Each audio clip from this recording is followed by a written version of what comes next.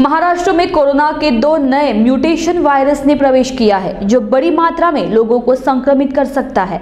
यह कहना है महाराष्ट्र मेडिकल काउंसिल के उपाध्यक्ष विकी रुगवानी का, जिन्होंने महाराष्ट्र टीवी 24 को यह जानकारी दी है। उनका क्या कहना है? आइए देखते हैं। भारत सरकार के कुछ विशेषज्ञों द्वारा कोविड 19 के जीनोम सीक्वेंसिंग, यानी कि कुछ म्यूटेशन या नए वेरिएंट जो हैं कोविड 19 के वो भारत सर, देश में आए हैं क्या? इसके बारे में स्टडी की गई। और इसमें ऐसा पाया गया, कुल मिलाकर दस हज़ार से ऊपर कुछ सैंपल्स की जाँच की गई और उसमें करीब करीब 771 सैंपल्स ऐसे निकले जिनमें की वेरिएंट नया कोविड वायरस का वेरिएंट पाया गया। और उसमें से लगभग 736 जो सैंपल्स थे, वो यूके वेरिएंट के थे और, तकरीबन 34 सैंपल्स ऐसे थे जो कि साउथ अफ्रीकन वेरिएंट के थे।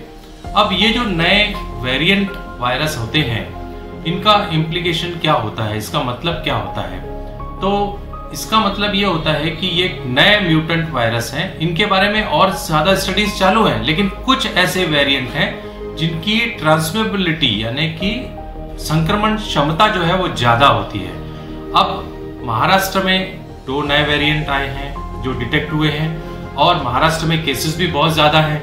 लेकिन यह ज़्यादा नंबर जो केसेस का है, यह केवल इन वेरिएंट की वजह से है कि नहीं, इसके बारे में भी खोज जो है वो जारी है। तकरीबन 15 से 20 प्रतिशत जो सैंपल्स हैं टोटल सैंपल जो टेस्ट किए गए, उसमें ऐसा पाया जा रहा है कि न्यू वेरिएंट जो है जिसको हम वेरिएंट ऑफ़ कंसर्न कहते हैं, वैसे पाया गया है।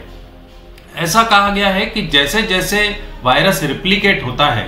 जैसे जैसे एक व्यक्ति से दूसरे व्यक्ति में दूसरे व्यक्ति से तीसरे व्यक्ति में जाता है जितने बार नया वायरस पैदा होता है उतने ज़्यादा नए म्यूटेशंस के चांसेस बढ़ते जाते हैं। तो म्यूटेशंस तो जैसे जैसे संक्रमण बढ़ेगा म्यूटेशंस बढ़ते जाएँगे।